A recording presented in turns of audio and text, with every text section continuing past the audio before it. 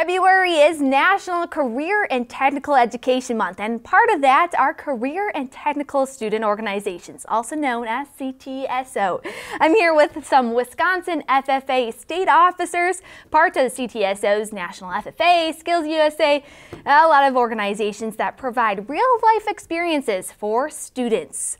I have here uh, Heidi Strey and Casey Dankin. They are um, serving this organization and have done a lot so far. So, welcome. Thanks for coming on. Yes, yes, thanks for having yes, us. thanks for having us. We're both excited to be here.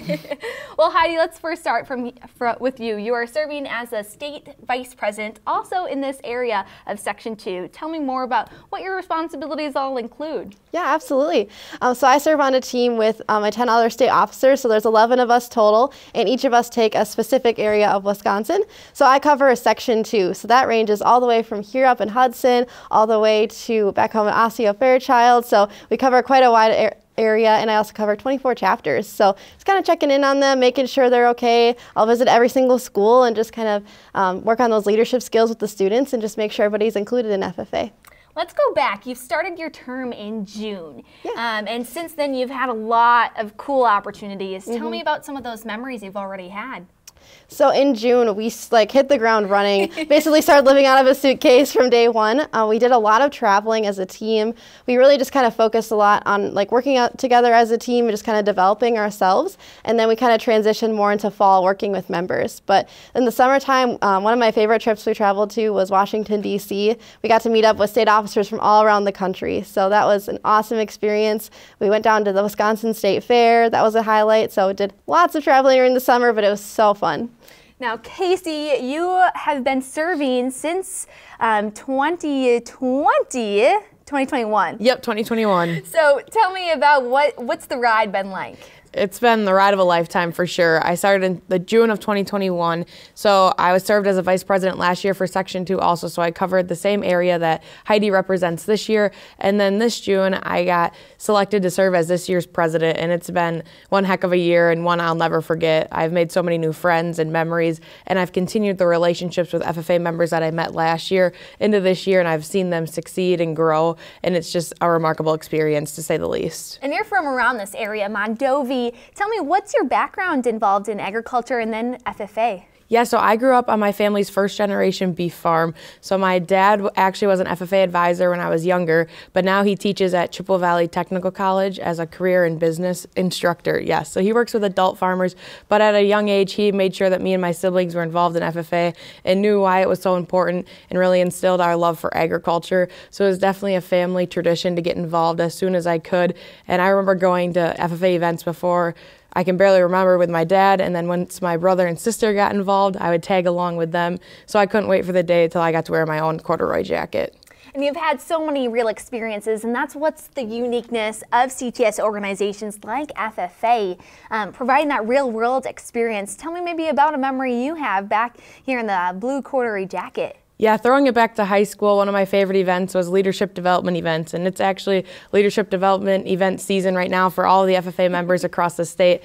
And when I was in high school, my favorite event was employment skills. So that's where you do a mock job interview and you apply for a job that would interest you. And I just know that was my favorite like, but my favorite speaking contest, and I think it helped me a lot for future interviews that I will partake in. Because the employment skills leadership development event is really you're doing an interview with the judges. Yeah, you're doing an interview, you write a cover letter, you make a resume. So you're doing all the steps and you're getting a real world experience that can't be replaced with anything else. And wherever you go, you need to speak when you're talking to an employer, or in your case, you also participated in leadership development events. Tell me more about your experience. Yeah, so one of my favorite ones was called extemporaneous public speaking. So, kind of a long word, but basically, you go into the room, you're given a topic, and you have 30 minutes to prepare a speech about that topic. So, I just kind of love the thrill of it, and just you kind of go in and you just kind of have to stay up to date on your agriculture facts. Um, you get little cards that you can write on, and then you go in front of the judges to present. So, that was just one of my favorites, and you just kind of like go with the flow, keep on rolling with it. If you mess up, you just gotta keep on going. but um, I loved it. It really helped me develop my public speaking skills for sure, and definitely played a role when I ran for state office. Just having those skills from that event just really played into um, what I'm doing now, and really for the rest of my life.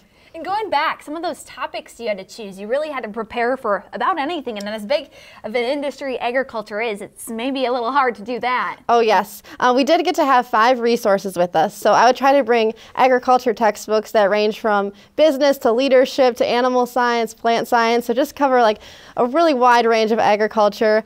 Uh, but some of my favorite topics were the ones about communication. So I always love answering those questions and like giving the speeches on that. Now you're a college student and you're into communications. Tell me how FFA has really helped you get into college and now some internship opportunities as well. Yeah, definitely. So when I started out in FFA, you know, I really was focused on the livestock side, but I think through serving as a reporter in my chapter um, FFA and just kind of like doing various activities, I kind of realized I was really, really interested in more of the marketing communication side. Um, so when I got to college, I actually ended up switching my major from animal science to ag marketing and communications. But but um, just you know participating in those roles, and I really just got to find what I love to do. So I'm super excited about my future career, and um, even now you kind of mentioned internships. I'm actually um, taking an internship with Wisconsin Farm Bureau as their communications intern. So yes, we got a lot going on, but it's super exciting, and I've been loving what I've been doing so far. A lot of opportunities to get yes. involved in and to learn more about agriculture. And you're also in college, Casey. Tell me about what what you're looking at uh, in the future. Yeah, so I'm currently a junior at the University of Wisconsin River Falls, where I'm majoring in ag business while minoring in animal science. And this summer, I also have an internship with Compeer Financial, where I'm going to be working with the crop insurance side. So I'm hoping to get some real world experience within the industry of agriculture business. And then after college, I'm not 100% sure where I want to be located or work out of, but I definitely want to go into the ag business field with something with banking or like a loan officer. So I want to work with farmers for sure. And what's so unique is that you I don't think you ever know where you're going to go, you know, after college, but FFA has really grounded you into some really neat opportunities. Yeah, FFA has shown me that wherever you go, you'll find connections and it'll feel like home eventually. We're on the road so many days out of the year and we've seen all, every side of Wisconsin, I think, and almost every side of Wisconsin agriculture we've been exposed to this year. And I always find it interesting. The more you learn, the more you want to learn. So I just think that being exposed has really shown me that like the opportunities are endless. You just have to go find them. And maybe similar thoughts, Heidi? Yeah, definitely. Uh, one thing Casey mentioned is that we got to see like all aspects of Wisconsin agriculture when we were to, um, on our different tours for leadership development events. And we got to, tra- sorry, not leadership development events, uh, for fall leadership workshops. Uh, we actually got to travel around the entire state, visit every single state officer's hometown, and then we would actually go on different agriculture tours in the area. Uh, so we got to see cranberry bogs, we saw a Wagyu beef farm, a horseradish farm. So really just about everything, everything. It was so fun. And really I took a lot of notes and just got to take in all that agriculture has to offer and just see some of those unique Wisconsin industries that you don't get to see every day. And the scope of the organization is that there are over 20,000 Wisconsin FFA members and nationwide over 700,000. So there's really opportunities for a lot of people, a lot of students to grow. Yeah, for sure. The opportunities are endless, whether it's with communications like Heidi or business or leadership. FFA is exposing their members to everything to try to make them successful in the future. We even have a band and choir too, so really there's just about everything. Yeah. Artwork contest, FFA has just about anything for everybody. And when we say band choir, any of you were part of it or have a talent? I wasn't in the band for FFA, but in high school or middle school, I played the saxophone at the local high school chapter. So I think if I could go back, I would have joined the FFA band. Me too. I really wish I would have because I always saw the band playing at the state FFA convention. I thought it looks like so much fun, but I just unfortunately just never got a chance to do it. And I was busy doing like some other things here and there, but I'm like, oh, it's one thing I wish I could go back and do you know, there you can only regret so much in life. Right. And there's true. there's so many opportunities to get involved in, in today's world. But like FFA, there's just so many opportunities. It's kind of hard to choose. But you know, talking about choices, there are so many things coming up to celebrate even National FFA Week and CTE Month. What are some festivities you all are going to, or something that you're really looking forward to? How you want to go first? Sure. Uh, so the first event that we'll be going to is FFA Day on the Hill. So that's where all FFA members can come down to our capital in Madison, and we get to talk to different legislators about FFA and agriculture and agricultural education. So we're really excited about that. The whole state officer team is traveling down, and then um, we're traveling down on a Sunday night, and then students will kind of get to have a little bit of training about talking to legislators, and then Monday is kind of our day of action. Wow. What are you looking forward to for uh, some celebrations happening? Definitely looking forward to FFA week as a whole. Starting on Sunday, like Heidi said, Sunday to Sunday, I'm going to be traveling across the state. So I'm going to start down in Madison with Cap- the FFA Day on the Hill, and then we're going to come, or I'm going to go up to Section 9 to visit Random Lake. Then I'm going to come back over to Section 2 because we have our national president joining us, Andrew Seibel from Virginia, and we are all so excited to have him. And we're going to start in New Richmond, and we're going to get to see the SOAR Center with Miss Savala and see all the amazing amazing things that they do. Then we're going to go to Osseo Fairchild, Heidi's home chapter, and she can share a little bit more about Osseo and their program and then take on the rest of our FFA week from there. Yeah, absolutely. This is super exciting that the national president is visiting my home chapter, which I just never even dreamed that that would be happening. um, but super exciting. So Andrew's going to come. He's going to talk to all the FFA members. I think he's doing like a school-wide assembly for just everybody in the school to learn about FFA and like they get to meet the national FFA president, which is awesome. Um, but Osseo's been really on the ball lately. We've been having a lot of opportunities. Um, recently, we had Amelia Hayden. She's our new um, advisor for Osseo Fairchild, so we're super excited to have her, and she's just been doing some great things with the chapter a lot of great ways to get involved. And Casey, you recently took a trip out to Washington, D.C. What were you up to there? Yeah, so I traveled to Washington, D.C. for less than 24 hours. I was gone, but that's okay. I made it back for bowling last night in River Falls. My family couldn't believe it. But when I was out in River Falls or out in Washington, D.C., we went to Microsoft. So we got me and Mrs. Zimmerman, our executive director, got to meet the president of Microsoft and see all that they're doing to reach out to communities that maybe don't have all the technology advancements that other larger, larger larger cities have. So we learned that they're trying to expand. And the one quote that really stuck with me from the event is talent talent is everywhere, opportunities are not. So they're trying to make sure that opportunities are out there for everybody because everyone's filled with talent, but it's finding that talent and really reaching in and pulling it out of people and seeing what they have to offer. So Microsoft is doing an outstanding job in trying to get 4-H and FFA involved with everything that they have to offer. And one of the coolest things that I learned about was out in North Dakota, they have the Grand Farm, and it's a farm where FFA chapters can go and they can become drone certified for like flying drones, and it's just the opportunities are endless endless for those FFA chapters. So just learning about like what we can do around here to try to build our Microsoft connection because it actually started in Appleton, and some of their like key leaders are still live in Wisconsin and their families have agriculture backgrounds and are still farming. So that was just super cool to hear about, and it was definitely a fun and fast trip. For sure. And when we look at these big companies, they are supporting National FFA and the organization because there are so many ways to get involved. Um, you know, helping with scholarships and grants and different ways to get involved in. And that's just the beauty. And um, there are ways to, um, to get involved financially. Have you um, seen uh, in the students that you've impacted, like, do you see more need for like a grant, a scholarship? Do you promote that? Yeah, definitely. I know that um, National FFA and even our state organization offers some grants uh, for students supervise agricultural experiences. I know that, that is a huge one. So those supervised agricultural experiences, or we call them SAEs for short, that's kind of like a project that a student has that involves agriculture and FFA, and it's really student-led. They get to make a lot of the management decisions on that. And some for like sometimes for a student starting up in FFA, they want to have an SAE, but they just don't have the funding for it. So they can actually fill out one of those grants and then hopefully receive money from the state or the national level, and it really helps them kickstart their program. And it's awesome to see that that student achieve in their SAE.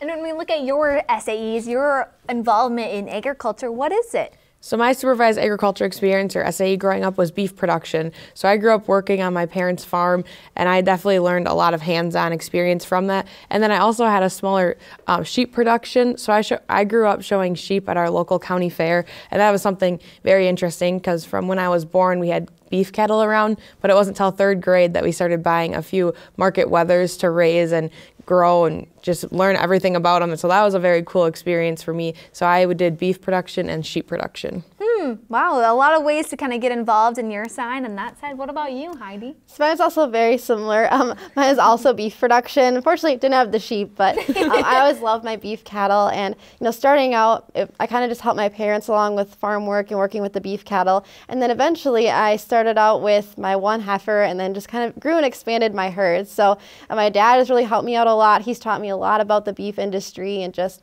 um, doing different management decisions. So now I even get to make my own decisions on say, you know, like, okay, what am I going to like feed my animals or like when they're calving or just like all those like little things that go into it. It's just kind of cool that I get to make some of those decisions now and hopefully I'll have my own like big beef herd one day. wow, a lot of great ways to get involved. We talked a lot about ways to get involved and opportunities available for high school students and college students, but when we reflect upon your own experiences, why did you first join the FFA organization?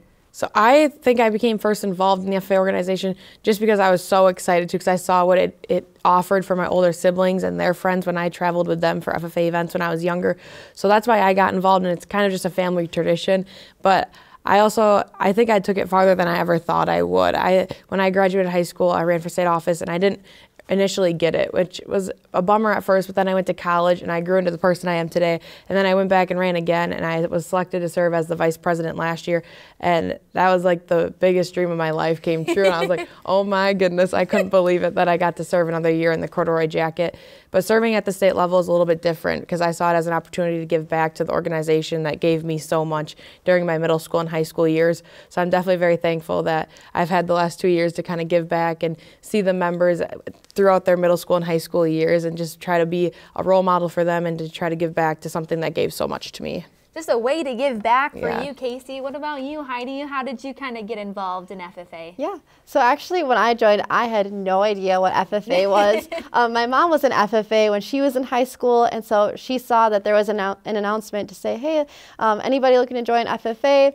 Like you can come to the ag classroom at this time during lunch. And so she's like, hey, you, you know, you should go to this. And little sixth grade Heidi was like, what even is FFA? I'm not going by myself. Like, this is kind of scary. But she's like, come on, you have to do it. So eventually it was like, all right, I'm going to go to this FFA meeting. And as soon as I walked into the doors, um, I just felt so welcome there. And we actually had our previous FFA advisor, Mr. Betcher, he was the, um, there at the time. And he was kind of the, one, the main one who really helped drive my FFA career. He was the one who pushed me to do a lot of those those events just to grow myself as a person, my personality, kind of figure out like what I'm interested in. And then I would say about my sophomore year of high school is when I started to really take into consideration state office. Um, I just had so many people around me that influenced me. Um, I joined my chapter officer team, which has also kind of played a big role in it too.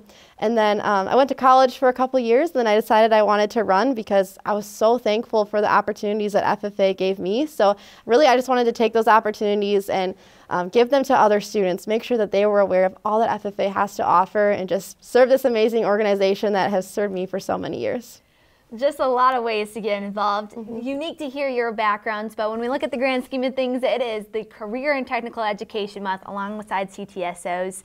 Um, have you all been part of or engaged with um, other organizations like Skills USA, FCCLA? So we actually did not have those other clubs offered at my high school. I wish I would have because I think I would have enjoyed getting involved with them, but FFA was the main um, course offered at Mondovi. Cool. What about you? Yeah, um, at my high school, we didn't really have many of those clubs either, which I know, like hearing about them now, they do sound amazing. It's like I think I would have definitely gotten involved. But as for other organizations, I say um, we do partner with like Farm Bureau. I know recently we'll be having a Farm Bureau event that FFA members can go to. So it's led by the Farm Bureau organization, and then us as state officers just get to come and hang out with the FFA members and just kind of see two organizations that involve agriculture kind of collabing together to bring members some awesome like agricultural leadership skills. There's a lot of ways to partner and support and just whatever organizations students are part of it, just trying to get that real world experience is really important so then they're prepared whether they go into college or trade school, whatever that may look like. So as we look back into FFA and those organizations, reflecting thoughts um, about what um, your, your last comments on how FFA can really help provide students the opportunities that are lifelong. So I think FFA just does a remarkable job at teaching everybody that they are welcome and that they're valued in our organization. We have so many opportunities, like Heidi mentioned earlier, the band and choir, the art contest. We have speaking contests or career development events during the spring. So we just have uh, opportunities that I think should spark at least every member's interest in some way. They don't have to do every activity because I know if they're involved in the other clubs, that gets to be a lot. But just if they find one thing that they find their passion for, they find that they were valued, I think that's important just to make sure that they know that they're welcome in the FFA organization. Absolutely. Thanks, Casey. What about you, Heidi? I definitely say, I know that people say this a lot, but honestly, take advantage of those opportunities. Don't be mm-hmm. afraid to reach out and say, hey, you know what, I want to do this event or I just want to try this. Because I know coming from me, I was a super shy, very introverted little middle schooler. But if it weren't for the people around me kind of like encouraging me and like motivating me, I never would have taken those opportunities. So, you know, if you're somebody out there who thinks, you know, somebody in your life should be an FFA or like take advantage of an opportunity or an event, I would say 100% just try to motivate them to do it. And if you are that person, just go for that opportunity. It doesn't hurt to try. And in FFA, there's a lot of events that you can do that you don't have to be 100% like the best at. Just like showing up, participating, you're going to learn so many skills and it will honestly help you for the rest of your life. Absolutely. Well, thanks for coming on. That was Casey and Heidi. They are serving as Wisconsin FFA state officers and the celebration for February, Career and Technical Education Month. Organizations like FFA and uh, many others really give that real world experiences. Thanks for joining in for, to listen to Wisconsin FFA state officers Heidi and Casey as they take along their journey. Their term will end in June of this year. National FFA Week is at the end of this month and the many celebrations will to come. Thanks for tuning in to this segment on the Western Wisconsin Journal on Agriculture. I'm Michelle Stangler.